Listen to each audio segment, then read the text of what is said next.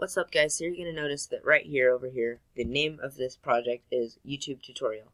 I'm doing that because today I'm going to show you how to make a simple basketball game in MIT App Inventor. Now what you're going to need for this is a computer slash laptop with the MIT, with the MIT App Inventor software already installed. And then this is optional, but you would use a phone. I actually have my phone on me. Um, I'm going to be using it to test out my app as I make it but you can also use the emulator. However, I do suggest using the phone because it works better. Now, without further ado, let's go ahead and get started. So the first thing that you're going to be need be needing is you're going to go down here to drawing and animation. You're going to get canvas, and then you're going to get a ball, and you're going to get an image sprite. Then we're going to go here. We're going to set, actually we're going to go here first we're going to set center and center.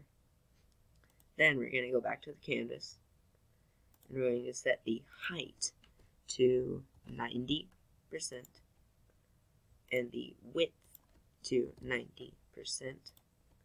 This is going to give us a fairly large area.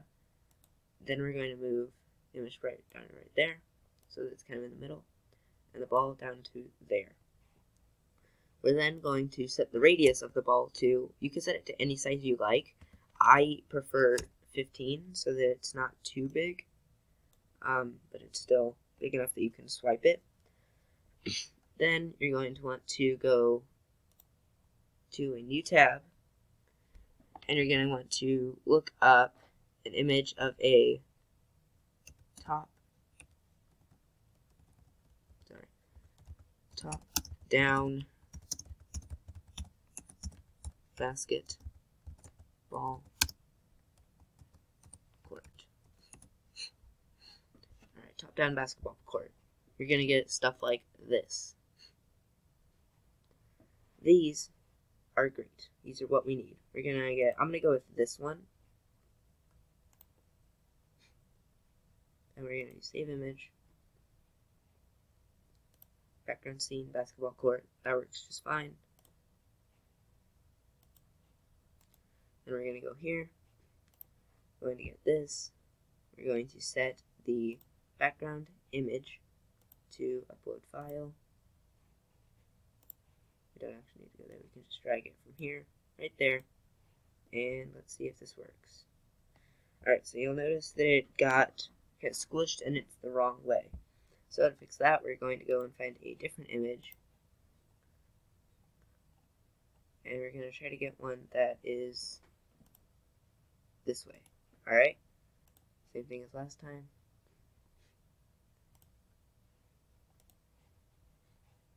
We're going to go set the background image here.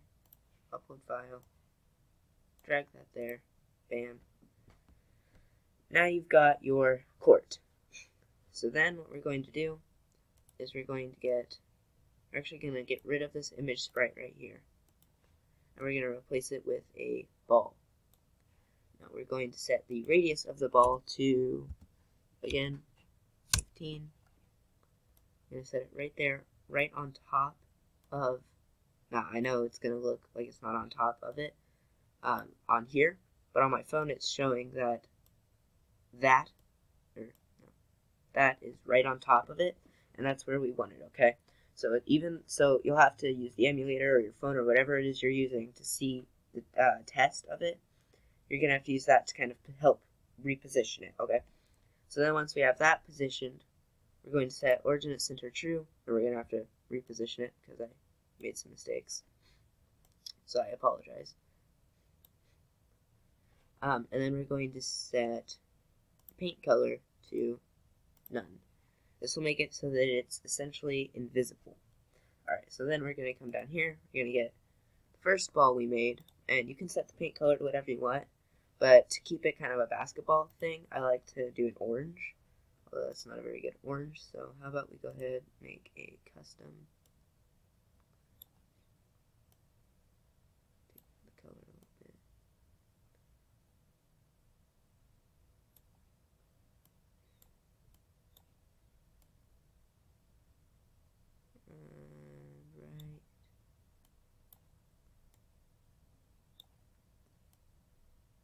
And right I'd say that's a nice color. Alright, yeah, that looks like a basketball. Now we're going to go ahead and we're going to go to blocks.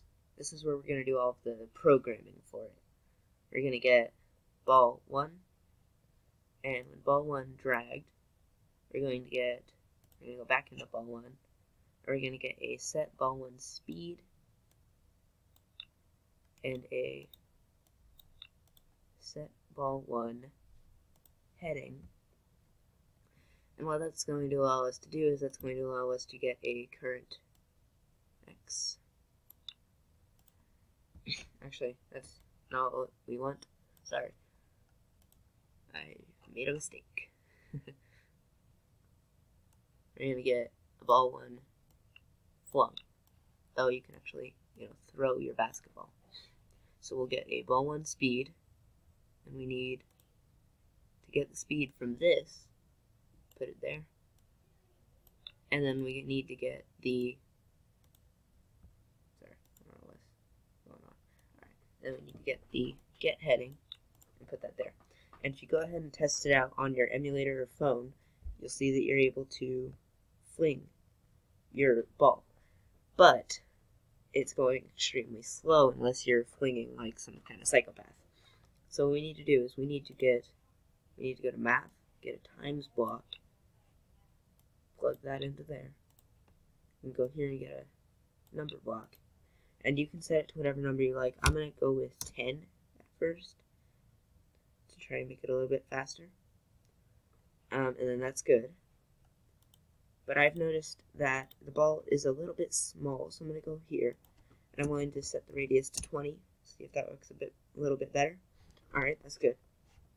Then, once we have all that set up, we're going to go here, we're going to get ball, when ball 2 collided with other, and we need to, if get other equals and you can get an equals from either logic or math. I typically use the logic because you can compare anything.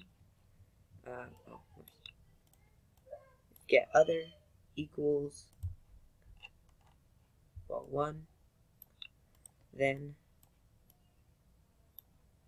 we need to get a text box. And we're gonna set it I'm gonna set it up here. You don't have to but I'm gonna set it there. I'm going to do background color none, font size, I'm going to set the font size to 30, that way it's nice and big. We're going to set the hint to nothing. We're going to set read only, numbers only, text, set it at default to 0, text alignment, center, and of course you can change the color to whatever you want. But if you notice that your court just got pushed down a little bit, now it's kind of hard to see it all. So we're going to resize the court. We're going to change its height to an 80. We'll see if that works. Alright, that fixed it for me. You may have to try something else because font sizes are different. So then if get other equals ball, then set text box 1 text to text box 1 text plus 1 yeah, sorry if you guys can hear my family in the background. Um, can't really, I don't, I can't, I can't soundproof my room. but set text box 1, text box to 1, then go ahead and test it out. And if you did it correctly, you should be able to make it so that when your basketball goes into, well, when it touches the invisible ball, it should give you a point. Now, again, now that I'm testing it, I've noticed that it, the uh, speed is too slow. That's probably why, because I uh, have not been doing it correctly. if you notice that error, put it in the comments. Alright, so there we go. And then it plays very well. And you're able to, and you could probably even get, um, if you get good at it, and I'm to actually take the speed down now a little bit, now that I have it set up correctly, and you could even probably get a, uh, a cloud DB. That way you and a friend can both, you know, play against each other and you can just send the data back and forth. Um, but this is the first tutorial I'll be doing. Uh, so I hope you enjoyed. Please like my channel, give me a subscribe, and then put in the comments what kind of tutorial you want to see next. What kind of a game. Alright.